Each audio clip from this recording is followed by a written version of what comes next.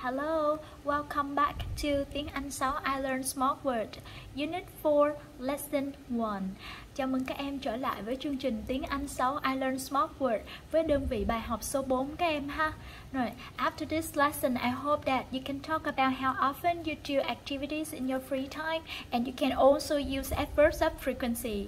Um, sau bài học này thì cô hy vọng là các em có thể nói được về mức độ thường xuyên mà các em làm các hoạt động nào đó trong thời gian rảnh của mình cũng như là các em có thể sử dụng được trạng từ chỉ sự thường xuyên các em nhé.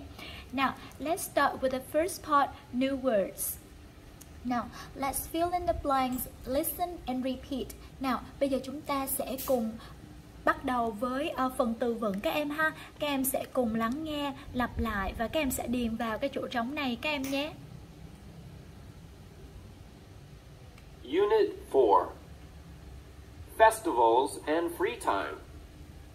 Lesson 1 Track 41 New Words. Listen and repeat. 1. Never. 2.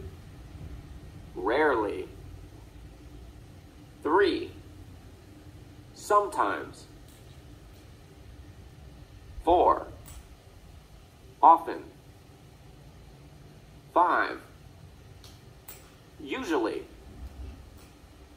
six, Always. Rồi, như vậy các em vừa lắng nghe về những cái trạng từ chỉ sự thường xuyên các em nhé. Chúng ta có number one, never là không bao giờ. Two, rarely là hiếm khi. Three, sometimes là thỉnh thoảng. Four, often là thường thường.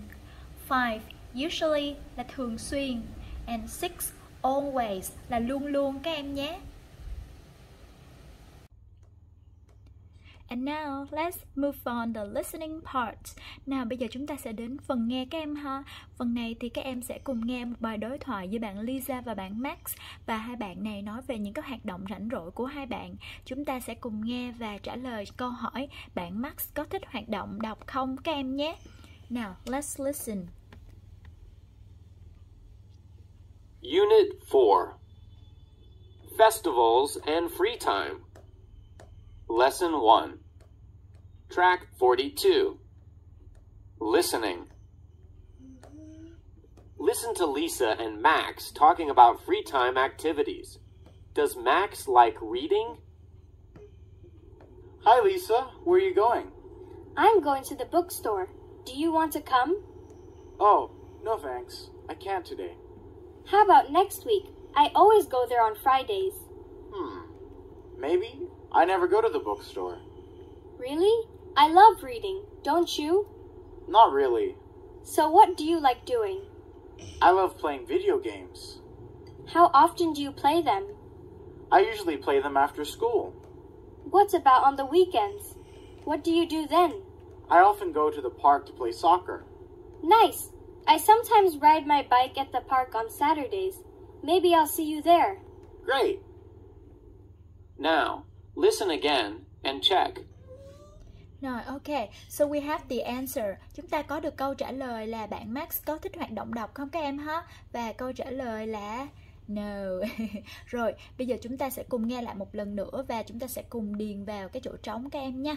Let's listen again.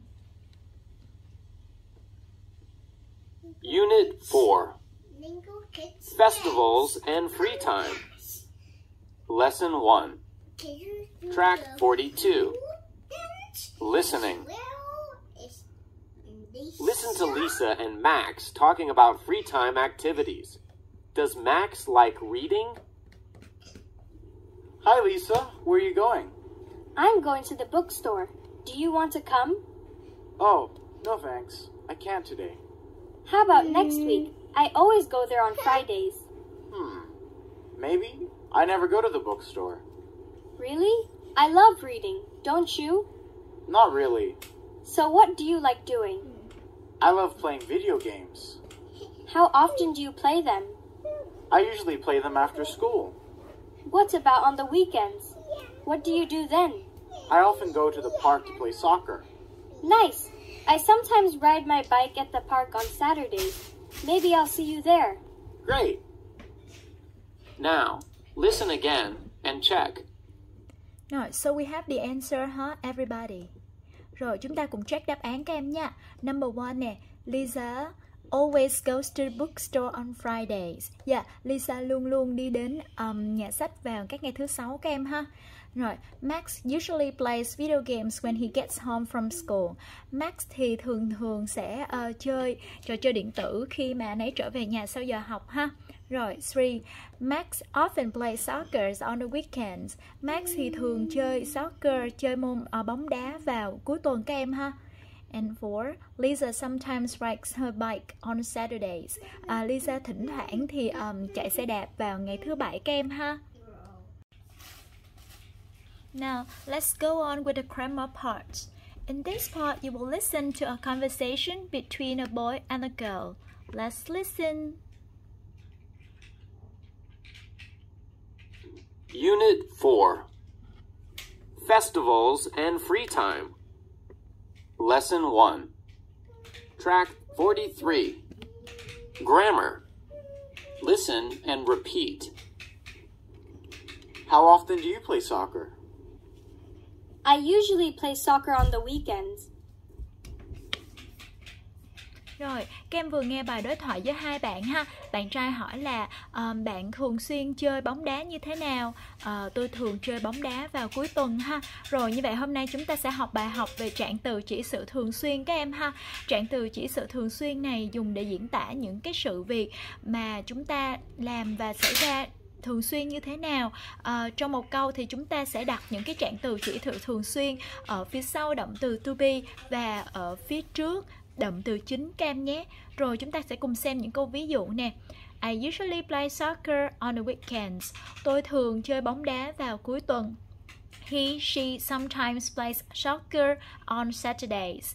Um, anh ấy hoặc là cô ấy thỉnh thoảng chơi bóng đá vào ngày thứ bảy. I never go shopping. Tôi không bao giờ đi mua sắm. He, she rarely goes shopping. Um, anh ấy hoặc là cô ấy hiếm khi là đi mua sắm. How often do you play soccer? Um, bạn thường chơi bóng đá như thế nào? How often does he, she play soccer? Um, anh ấy hoặc là cô ấy thường chơi bóng đá như thế nào các em ha? Rồi, và để nói về những cái hoạt động thường xảy ra thì các em sẽ sử dụng always và usually với một cái cụm từ thời gian. Ví dụ, I always play soccer on Saturdays. Các em sẽ nói là tôi luôn chơi bóng đá vào ngày thứ bảy, thay vì các em chỉ nói I always play soccer. Các em nhé rồi, bây giờ chúng ta sẽ cùng làm một cái bài tập về um, trạng từ chỉ sự thường xuyên này và chúng ta sẽ cùng điền vào chỗ trống các em nhé. Fill in the blanks with the adverbs of frequency. Rồi, number one, I sometimes go to the park on the weekends. Tôi thỉnh thoảng thì đi đến công viên vào cuối tuần. Two, She usually watches movies on Fridays. Cô ấy thường xem phim vào ngày thứ sáu. Three, He never plays basketball. Anh ấy không bao giờ chơi bóng rổ. 4. They always go swimming on Sundays. Họ luôn à, bơi lội vào ngày chủ nhật kem ha. 5. Sam often plays video games. Sam thì thường chơi trò chơi điện tử. Và 6. Millie rarely reads. Millie thì ít khi là đọc sách lắm. Rồi, và chúng ta sẽ cùng đến với cái bài tập cuối cùng của ngày hôm nay nè các em. Bài tập C. Look at the table and write the answers. Chúng ta sẽ cùng nhìn vào cái bảng này và chúng ta ghi được cái câu hỏi dành cho các bạn này các em ha. Rồi, cái bảng này nó sẽ gợi ý cho các em về cái mức độ thường xuyên frequency như vậy và các em sẽ đặt được câu hỏi và trả lời các em nhé. Rồi, number one nè. How often does Jack go shopping? He rarely goes shopping on the weekends. Rồi, um, hoặc là cái cụm thời gian này các em có thể thay đổi ha. Um, bao lâu một um, tuần một lần thì bạn Jack đi mua sắm? Bạn Jack hiếm khi mà đi mua sắm lắm. Two, how often does Bobby do his homework? Um, bạn Bobby thì thường hay làm bài tập về nhà như thế nào? He always does his homework after school. Um, anh ấy thường làm bài luôn luôn làm bài tập về nhà sau giờ học ha. Rồi, number three, how often does Sarah play soccer? Ừ, Sarah thì thường chơi um, bóng đá như thế nào? Uh, Sarah thì rất là thường chơi bóng đá ha. Rồi number four how often does Amanda have barbecues? Um, bạn Amanda thì bạn thường hay có những buổi tiệc nướng ngoài trời như thế nào? Uh, she sometimes has barbecues. Um, thỉnh thoảng thì cổ có những cái bữa barbecue như vậy. Rồi so it's the end of the lesson today? Thank you and see you in the next videos. Um, vậy là bài học hôm nay của chúng ta kết thúc. Hy vọng là sẽ gặp được các em vào những bài tập tiếp theo. Xin chào!